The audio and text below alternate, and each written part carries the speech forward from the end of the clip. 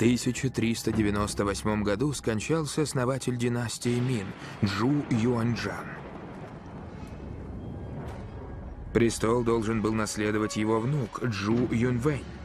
Однако спустя всего четыре года после начала своего правления император, получивший имя Цзяньбэнь, пропал. Его таинственное исчезновение породило немало слухов и версий за последние 500 лет, а оставленный трон захватил его дядя Джуди, ставший императором Юнле. Многие историки утверждали, что не будь Джуди, Минская династия не продержалась бы у власти 200 лет, а известный философ Лянь Цичао даже назвал этого правителя непревзойденным императором, но сам Джуди едва ли бы с ним согласился.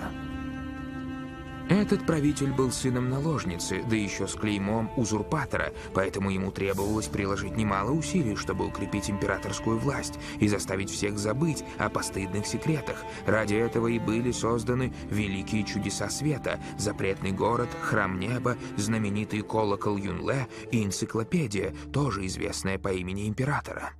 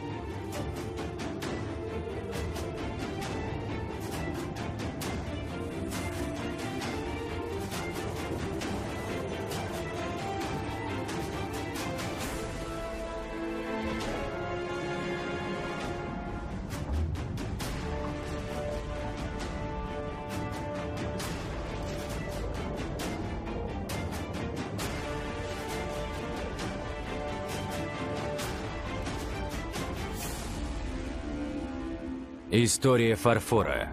Серия пятая. Навстречу волнам.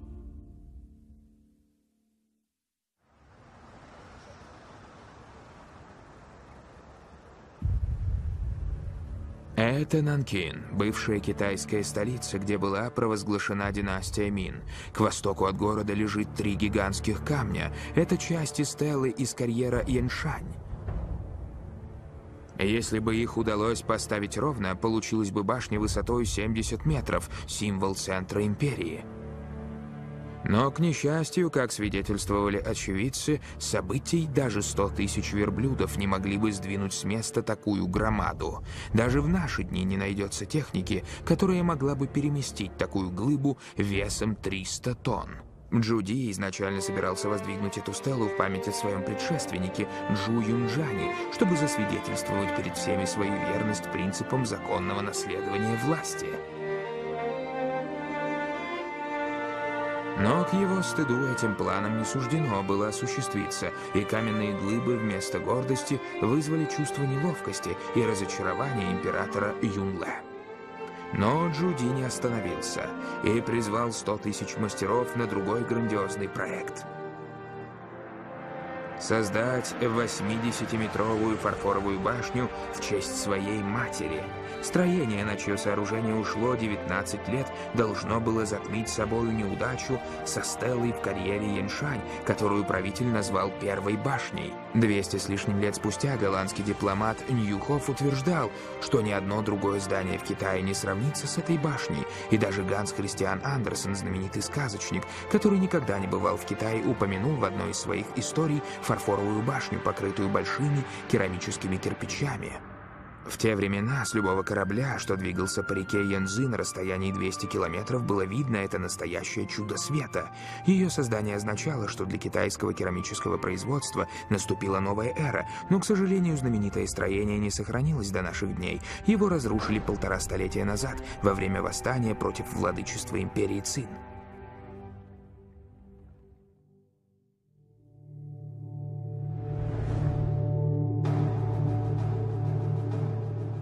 С тех пор, как в Китае впервые зазвучал мелодичный звон фарфоровых изделий, каждая новая династия стремилась создать еще более совершенные произведения керамического искусства, чем предшественники, и эти вещи вызывали восхищение потомков на протяжении многих столетий. Удалось ли в империи Мин придумать нечто, что превосходило бы трехцветные изделия эпохи Тан, или продукцию знаменитых мастерских периода Сун? И смог ли город Цзиньде, центр производства китайской керамики, где создавали тяжелые фарфоровые изделия по традиционной технологии, выдержать нарастающую конкуренцию?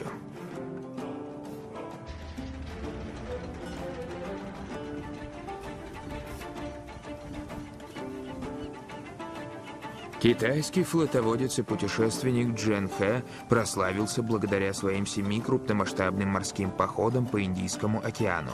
Однако далеко не все знают, что это не единственная его заслуга, ведь именно Джен Хэ руководил возведением фарфоровой башни в Нанкине.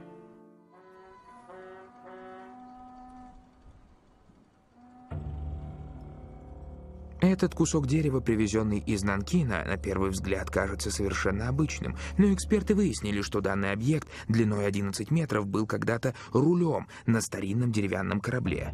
Исходя из размеров этой детали, сам корабль весил около полутора тысяч тонн и должен был быть примерно 150 метров в длину, то есть в пять раз больше, чем Санта-Мария, на котором Колумб открывал Америку. Выяснилось также, что в империи Мин была кораблестроительная верфь на семь больших доков. Некоторые специалисты полагают, что именно здесь и строились корабли для флота путешественника Джен Хэ. Во времена Чжэн Хэ технология строительства кораблей и навыки китайских мореплавателей были на мировом уровне. Более 500 лет назад Джен Хэ возглавил громадный флот из десятков тысяч человек, который направлялся в азиатские страны к западу от Китая и в Восточную Африку. Стоит отметить, что это грандиозное путешествие Джен Хэ предпринял по распоряжению императора Юнле, чтобы создать ему в мире репутацию щедрого и милосердного правителя. Среди товаров, которые участники экспедиции везли с собой, был шелк, чай и фарфор.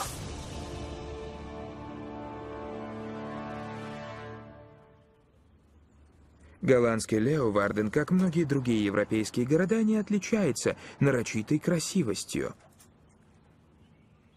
В расположенном здесь Национальном музее керамики Принцессенхоф собрана впечатляющая коллекция китайского фарфора. Куратор отдела Восточной Азии доктор Эва Струбер 8 лет занималась исследованиями на Тайване. Это один из наших ценнейших экспонатов. Ваза с драконом, сделанная в период Юнле в начале 15 века. Здесь изображен такой властный дракон. Это типично для стиля Юнле. В самом деле у него острый взгляд, мощные когтистые лапы, угрожающая поза и гордый независимый вид.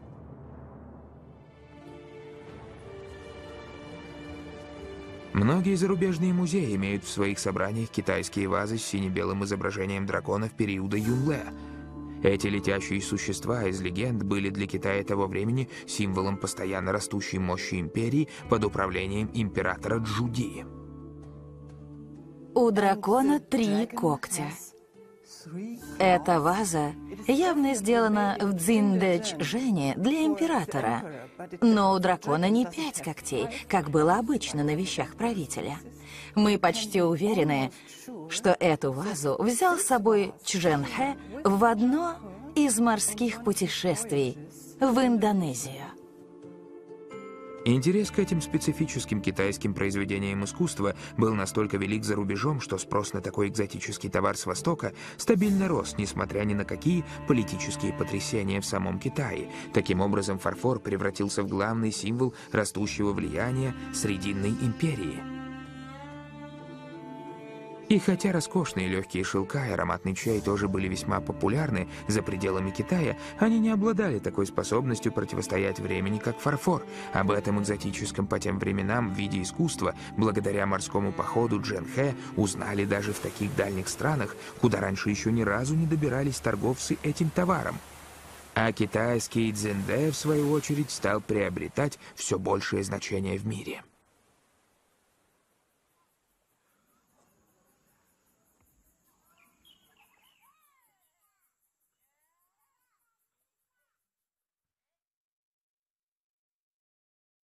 Дуань Пензинь все 40 лет своей жизни провел в Цзинда.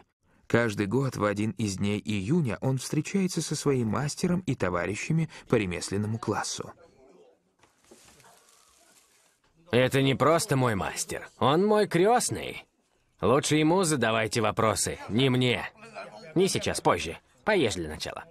На этой ежегодной встрече для туристов, что съезжаются со всего света, устраивают настоящее представление, показывая старинную технологию китайских мастеров по обжигу фарфора, а это был уже завершающий этап в сложном и долгом процессе керамического производства.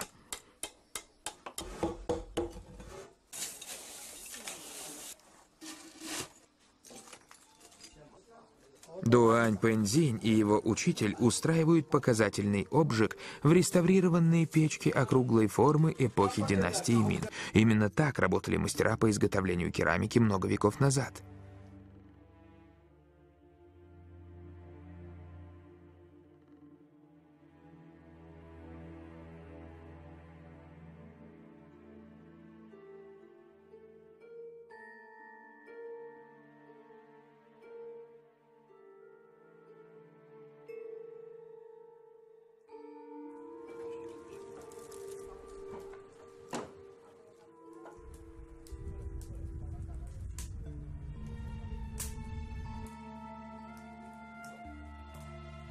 Сейчас наступает самый главный момент всего процесса. В жарких объятиях пламени глина меняется, она преобразуется до неузнаваемости.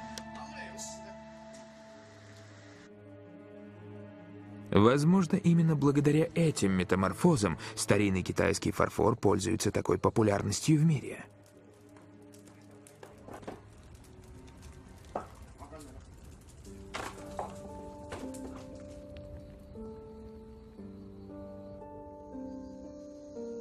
Правлении императора Юнле из династии Мин в городе Цзиньде действовали почти 60 керамических мастерских, работающих на государство. В них ежедневно трудились свыше 10 тысяч ремесленников. А размах производства превышал масштабы в период Юаньской империи. Но даже такое щедрое предложение не могло удовлетворить растущий спрос, поэтому власти страны были вынуждены передать часть заказов частным мастерским.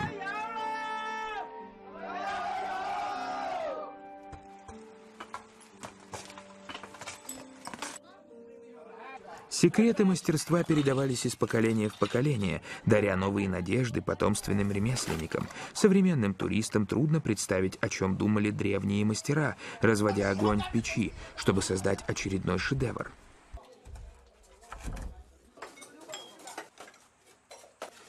А вот насколько оправданы были надежды современных мастеров. Что у них получилось, ради чего они так долго томились ожиданием, мы сейчас увидим. Вот и новая ваза готова. Пожалуйста, сделайте шаг назад. Видите, рисунок белый с синим и красным.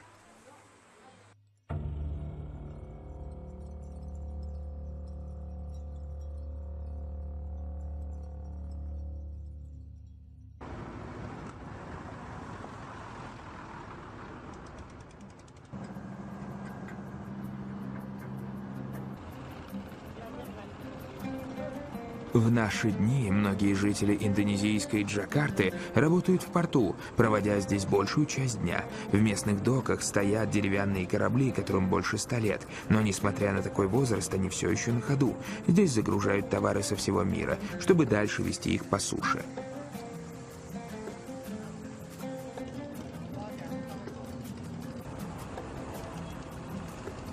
Во времена династии Мин Увидеть множество парусов на горизонте, когда сотни гигантских кораблей одновременно приближаются к берегу, было все равно, что попасть в сказку. И жители Юго-Восточной Азии при виде такой картины, наверное, решили, что грязят на его. А когда иностранные путешественники начали сгружать изысканный фарфор и другие сокровища со своих кораблей, восторженное удивление местных жителей вряд ли можно было вообще описать словами. И когда Джен Хэ со своими спутниками отправился в обратный путь, следом за ним поспешили знатные иностранцы чтобы, наконец, своими глазами увидеть страну, обладающую такими сокровищами.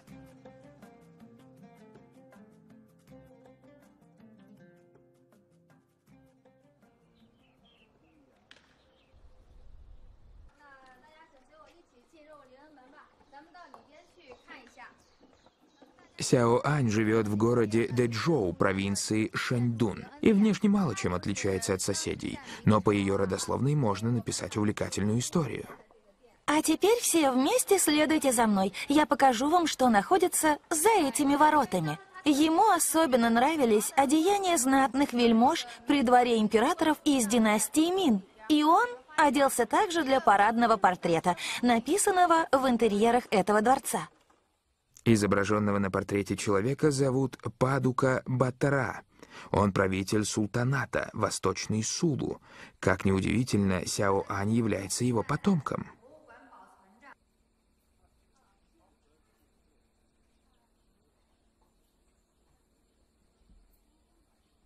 Это деревня Бэйин. Здесь живут потомки султана Восточного Сулу. В детстве мой дом был вон там. В этой деревне все мусульмане.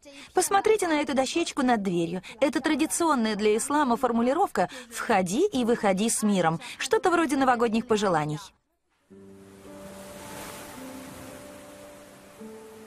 Без малого 600 лет назад три правителя султаната Сулу со свитой из 300 с лишним человек отправились в Китай. Засвидетельствовать свое почтение императору Джуди. Правитель был счастлив, наконец-то его широкие жесты начали приносить плоды. Заморские гости получили от императора щедрые дары, но на обратном пути один из них, правитель Восточного Сулу, к несчастью скончался в Дэйчжоу, не успев вернуться на дорогую его сердцу родину. Часть сопровождавших султана родственников и слуг осталась охранять его могилу, а в правлении династии Цин их потомки стали подчиненными Китайской империи.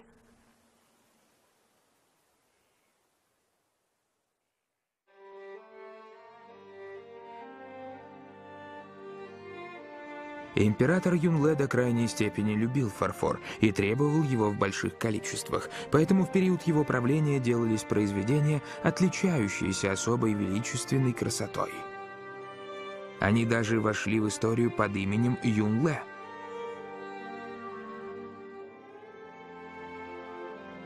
При императоре Джудии производился не только фарфор с бело-синей окраской, но также покрытый приятной белой глазурью, такие вещи, которых сейчас почти не найти.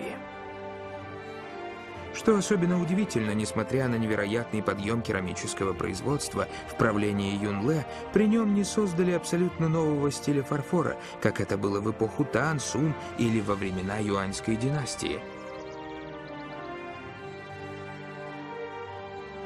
Возможно, что для Джуди фарфор был просто способом продемонстрировать свою щедрость и харизматичность. Поэтому, когда император отправлял очередную флотилию кораблей в далекое плавание, участники экспедиции везли с собой фарфор, чтобы вручить его в заморских странах в качестве подарков –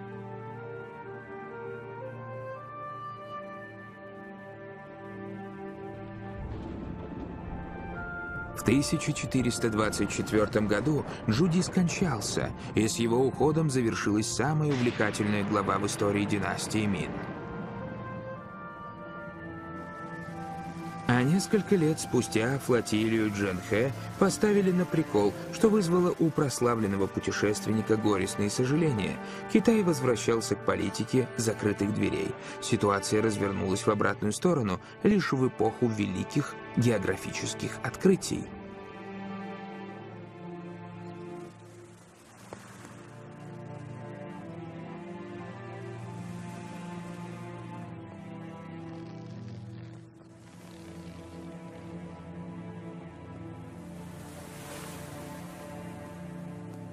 Еще император Джу Юаньчжань издал указ о том, что ни один торговый корабль не должен причалить к китайским берегам или отплыть от них. Для флотоводца Джинхэ возвращение старого запрета на морскую торговлю стало ударом. Оно означало, что ему остается лишь печально вглядываться в синюю даль. Но в то же время Китай стал объектом особого интереса иностранцев –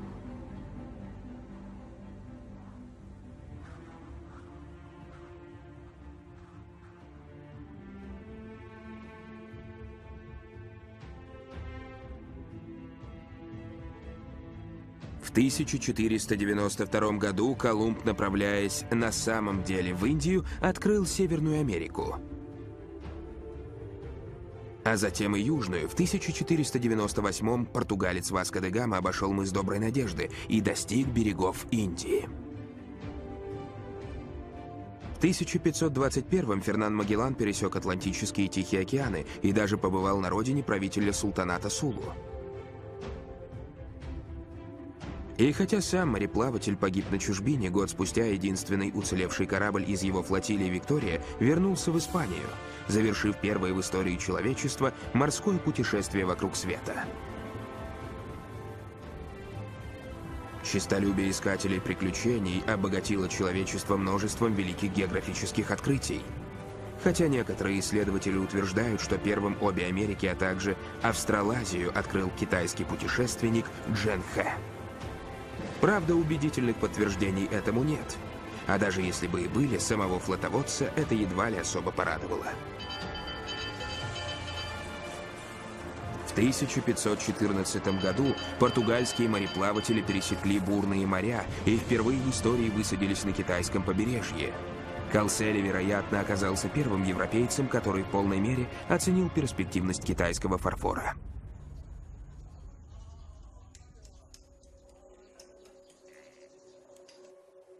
На тот момент он даже не знал, как эта посуда называется по-китайски, зато сразу понял, что ее надо брать, и закупил одним махом целых 100 тысяч изделий. Он безошибочно угадал, что этот товар моментально принесет ему баснословную выгоду. История умалчивает о том, каким образом ему удалось обойти императорский запрет на морскую торговлю, но 8 лет спустя король Португалии издал указ, что все купеческие корабли по возвращении с Востока должны по меньшей мере на треть быть загружены фарфором. Этот товар оказался до такой степени прибыльным, что породил многочисленных контрабандистов, а уж они-то сумели найти немало лазеек и обойти торговые запреты. Специалисты полагают, что в 16 веке объем экспорта фарфора в Европу составил 2 миллиона изделий, и это лишь по самым скромным подсчетам. Прибыль от продажи этого товара достигла 600%, и ему даже придумали иностранное имя – Чайна. Появление фарфора в Европе породило новое повальное увлечение. Императоры династии Мин предпочитали восторгаться шедеврами китайского искусства за закрытыми дверями. Складывается впечатление, что вся душевная щедрость и открытость китайских императоров была израсходована в правлении Юнле, а в Европе тем временем росло увлечение идеями Возрождения.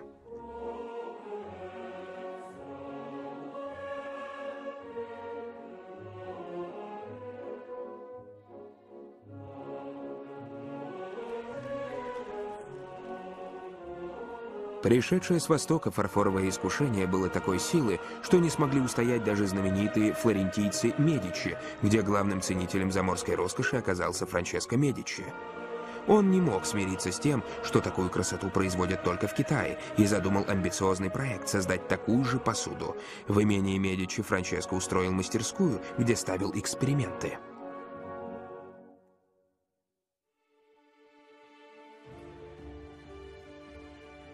Ремесленники смешивали молотое стекло с белой глиной, пытаясь получить керамику. Им казалось, что фарфор такой полупрозрачный из-за добавления в него стекла. Однако версия оказалась неверной, и полученный мастерами результат совершенно не оправдал ожиданий.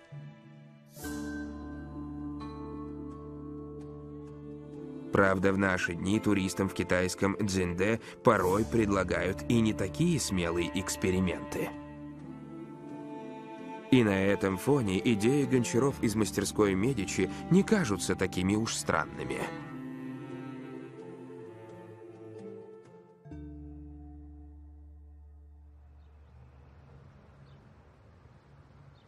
В голландский город Делфт, широко известный своими давними традициями фарфорового производства, мы приехали поздней осенью. Здесь живет Симон, чья семья сильно выделяется на фоне соседей.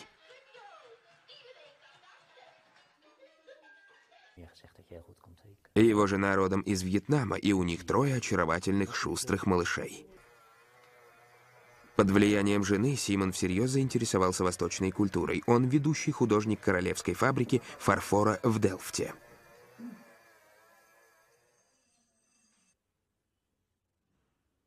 Когда я приехал в Китай, то поразился, какие большие вещи там делают из фарфора. В Голландии мы такого не можем сделать, просто невозможно. Никак. Фарфор ручной работы из Делфта давно превратился в такой же национальный символ Голландии, как тюльпаны. Правда, при ближайшем рассмотрении обнаруживается поразительное сходство с китайским бело-синим фарфором, и оно не случайно.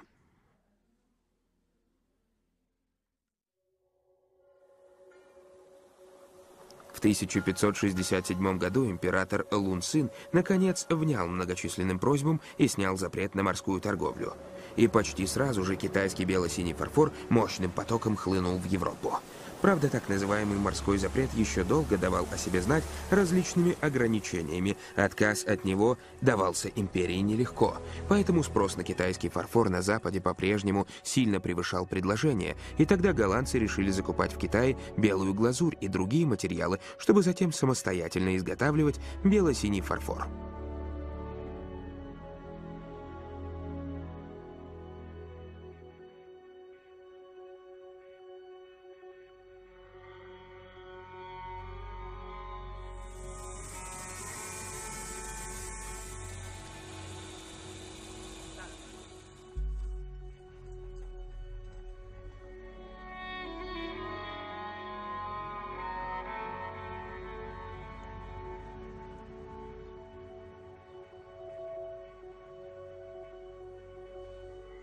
Эта копия сделана 400 лет назад, и хотя ее создали в Европе, внешне она почти неотличима от китайского оригинала. Рисунок, судя по всему, воспроизведен очень точно, вплоть до мельчайших деталей. Голландскому художнику даже удалось скопировать все китайские иероглифы, явно не зная языка, просто как декоративные элементы. Правда, никого это особенно не смущало, потому что предназначался товар для таких же европейцев.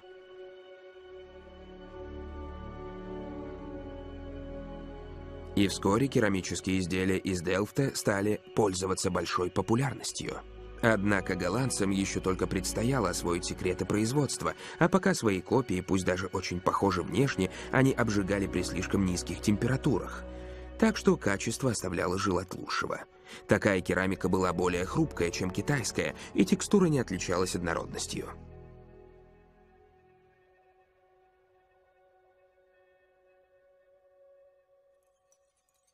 Пока европейцы ломали голову над секретом качественного фарфора, в китайском керамическом производстве произошла мини-революция, которая пришлась на первую половину правления династии Мин.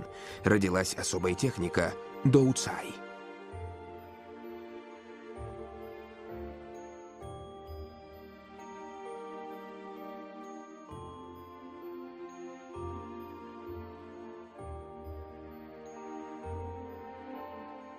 Орнамент под глазурью по-прежнему оставался бело-синим, а вот над глазурью использовалось большее цветовое разнообразие, и эти два слоя словно состязались друг с другом.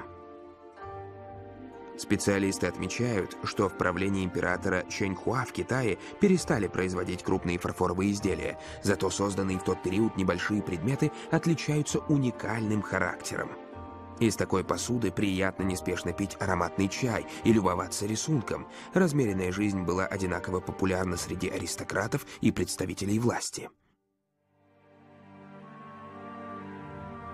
Во второй половине эпохи династии Мин чиновники стали настолько коррумпированы, что это уже тормозило развитие империи. К счастью, особо серьезных внешних угроз тоже не было, так что известный военачальник Ци Цзигуан успевал и с пиратами на восточных рубежах справляться, и атаки на Великую Китайскую стену на севере отражать.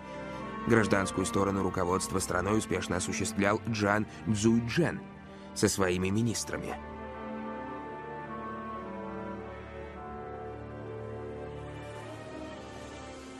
Правда, восстановление морской торговли шло трудно, поскольку запрет на нее долго давал о себе знать, но и этот вид коммерческой деятельности постепенно налаживался, поэтому государственная казна получала налоги далеко не со всех коммерческих операций.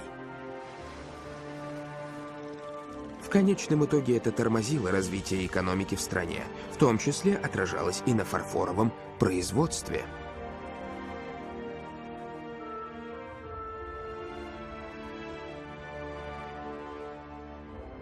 Но, несмотря на трудности, некоторые историки утверждают, что именно в эпоху Мин в Китае зародились рыночные отношения.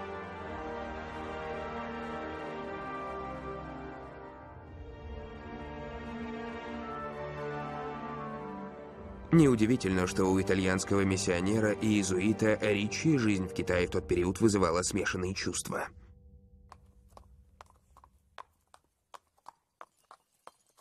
Все, что необходимо людям для счастливой жизни, будь то одежда, еда, хозяйственная утварь или же несметные богатства, все это в избытке производится на территории империи. Они совершенно не нуждаются в иностранных товарах. Жители этой страны не верят в Эдемский сад, и они совершенно не стремятся туда попасть. Ведь та земля, где они живут сейчас, является райской в их представлении.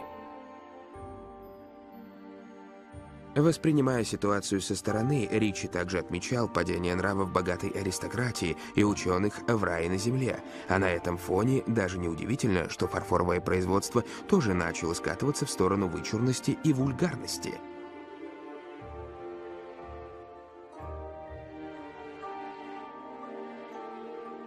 Через некоторое время после появления техники Дауцай китайские мастера придумали новую, пятицветную, которую назвали Уцай, и такое развитие событий отражало общие тенденции, которые существовали в обществе той эпохи.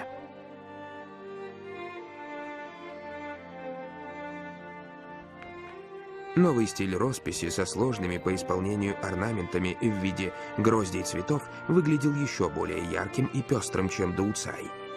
Но проблема в том, что большинство красителей теряет свои качества при высоких температурах в печи. Однако мастерам удалось придумать решение этой проблемы, которым пользуются и в наши дни. Использовать двойной обжиг. Вначале в печь отправляется только фарфоровый бисквит – А после первичной обработки при высоких температурах на изделие наносится уцай, и оно проходит вторичный, завершающий обжиг уже при более низкой температуре.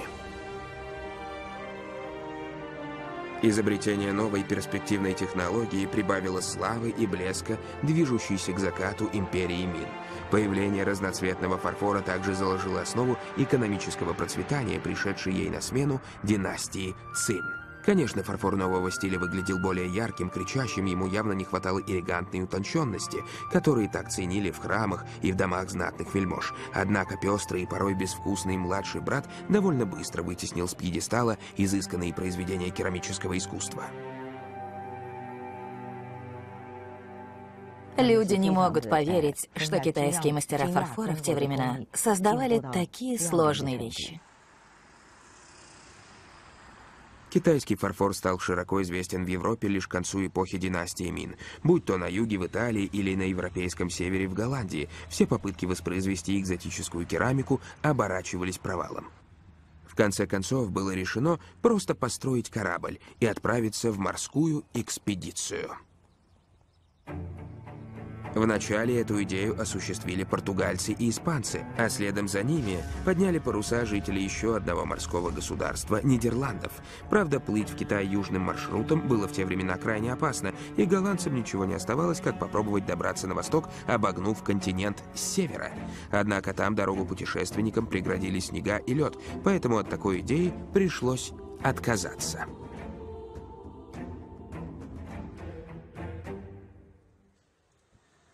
Сейчас в этом здании в столице Нидерландов находится Амстердамский университет, а 400 лет назад здесь располагалась голландская Остинская компания.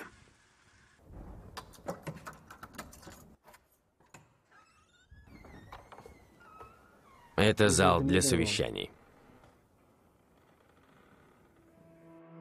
Здесь руководство голландской Остинской компании когда-то договаривалось силой перехватить лидерство у Португалии и Испании в отношениях с Востоком. В 1602 году они захватили португальское торговое судно «Кларк».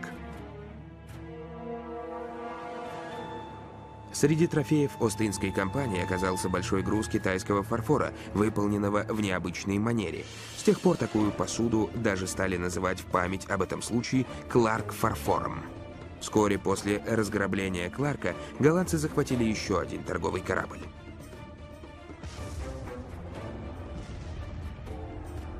Этот корабль принадлежал португальцам, на борту которого было 100 тысяч предметов, и все они были из китайского фарфора. Победители быстро распродали награбленное, благодаря этому голландская Устинская компания не только удвоила свой капитал, но и перехватила контроль на морском пути на восток.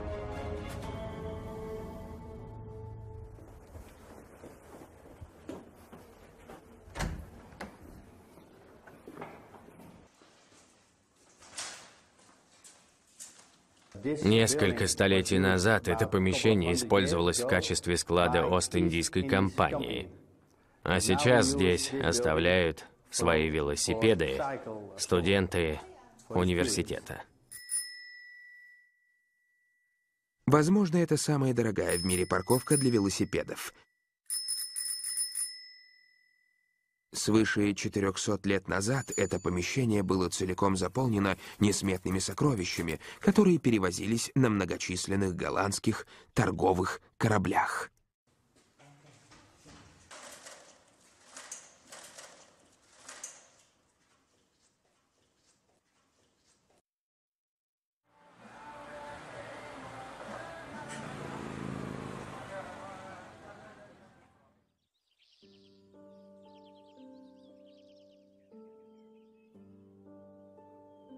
Этот тайваньский замок красного цвета в районе Даньшуй муниципального образования Новый Тайбэй – Называют еще «замок рыжеволосых». Прозвище никак не связано с цветом здания. Оно служит напоминанием о голландцах, которые впервые ступили на тайваньскую землю в 1642 году.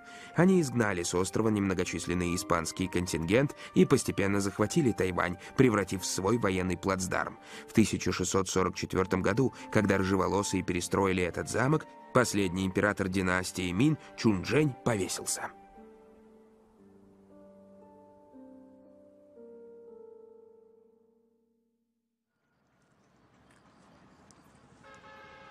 Округ Пенхэ в муниципальном районе Джанчжоу, провинции Фудзянь, отделен от Тайваня узкой полоской моря.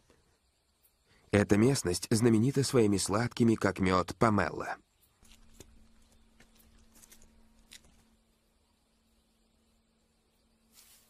Поэтому фермер Ван, который разводит цитрусовые, даже представить себе не может, что когда-то местные жители производили совершенно иной и гораздо более прибыльный товар –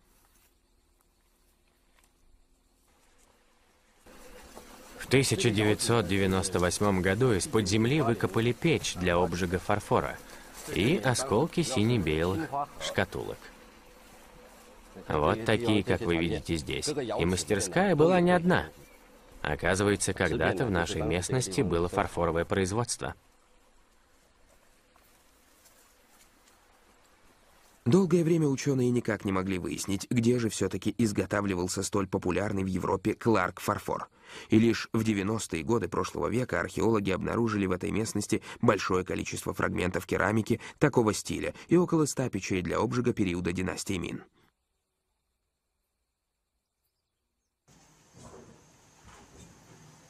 Так называемый Кларк-фарфор имеет бело-синюю окраску и напоминает изделие из города Цзиньде. Правда, Пинхэ находится от него на довольно большом расстоянии. Как же здешние мастера придумали изготавливать посуду, которая до такой степени повлияла на азиатское производство и потрясла европейцев?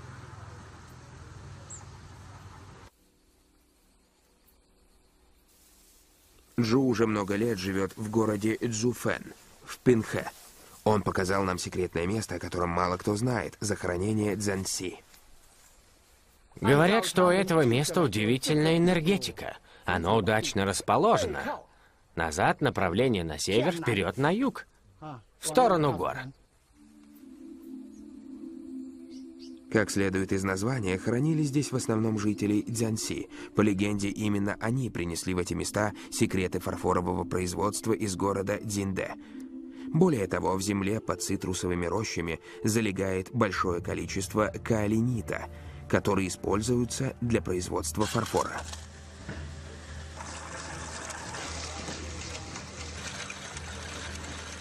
Получается, в этом городке было и сырье, и мастера, которые владели секретами изготовления фарфора. И финальным стимулом для запуска производства стала отмена морского запрета императором Лунцином во второй половине эпохи Мин.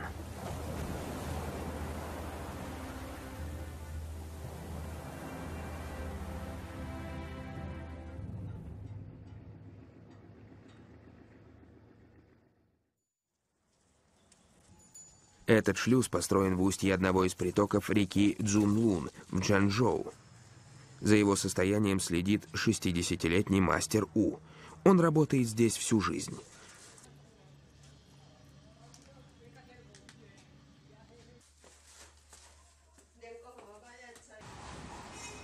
Мастер даже представить себе не мог, что 400 лет назад здесь находился один из крупнейших в Восточной Азии портов под названием Юэ. Когда император Лун Цин снял морской запрет, первоначально торговые корабли могли курсировать между Китаем и зарубежными странами только через эту гавань. Когда порт Юэ в Чжанчжоу открылся для торговых кораблей, у Китая стали стремительно расти коммерческие связи с заморскими странами. Мы находимся на расстоянии менее 100 километров от порта Юэ. В прежние времена груз фарфора из Пинхэ можно было всего за сутки доставить по реке на побережье, чтобы оттуда уже отправить на корабле в любую точку мира.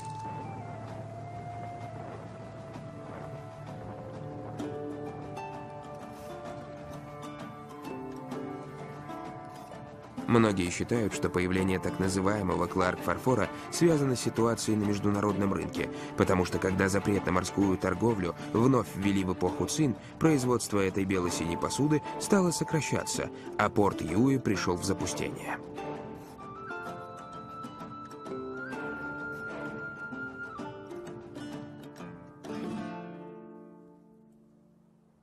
Остров Наньао в городском округе Шаньтоу, провинции Гуандун, кажется крошечным на фоне других китайских островов, но он имел огромное значение в истории страны. С ним связаны значительные события и известные имена.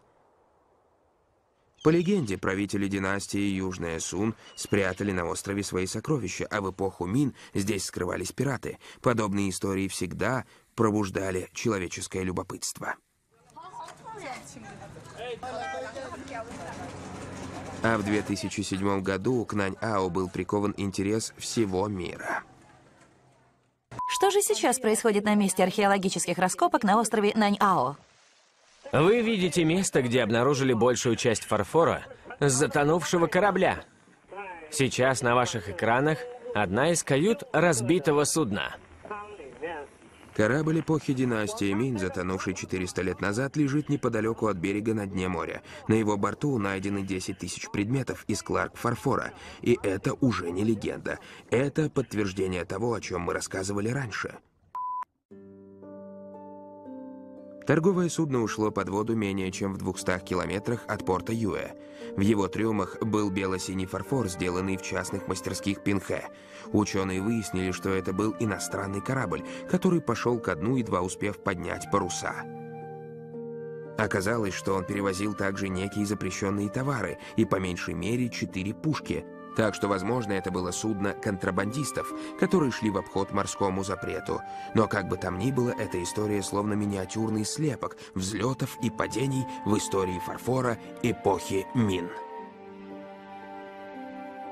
Подобные следы кораблекрушений можно найти в Азии, Африке, Европе и обеих Америках. Так что можно утверждать, что эпоха династии Мин была настоящим началом глобализации.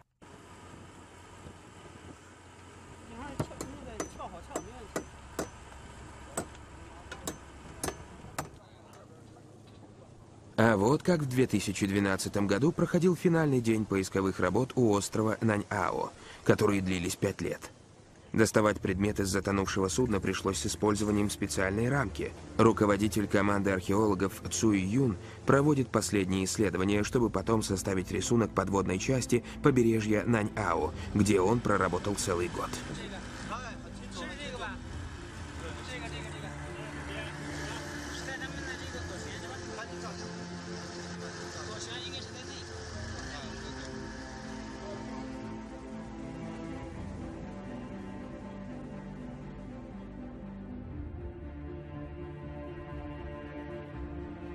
На протяжении всей эпохи империи Мин правители страны, судя по всему, особо не жаловали фарфор. О нем не писали в официальных исторических документах, и даже миссионер Иезуит Ричи лишь вскользь упоминает о нем. И все же фарфор распространялся как по территории Китая, так и за его пределами. Сказать, что он был просто популярен, значит ничего не сказать. И огромный спрос на эти изделия лишь еще сильнее подстегивался императорскими запретами.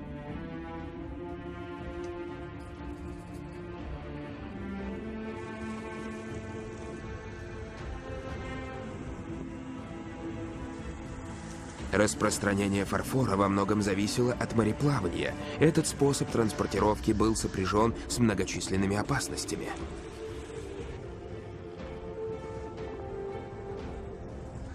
Их далеко не всегда можно было просчитать на берегу.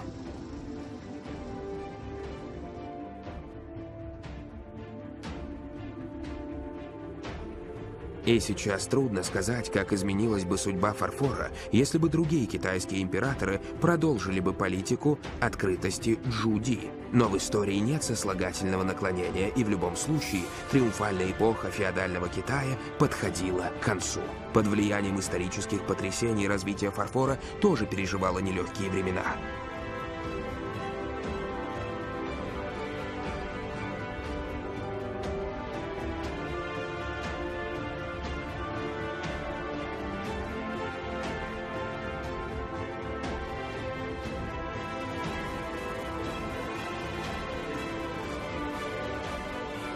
А тем временем наступила эпоха великих географических открытий. Она диктовала свои законы, и Китай вынужден был в конце концов впустить чужестранцев в свой рай на земле. С тех пор китайский фарфор, который полтора тысячелетия был тайной за семью печатями, потерял романтический ореол.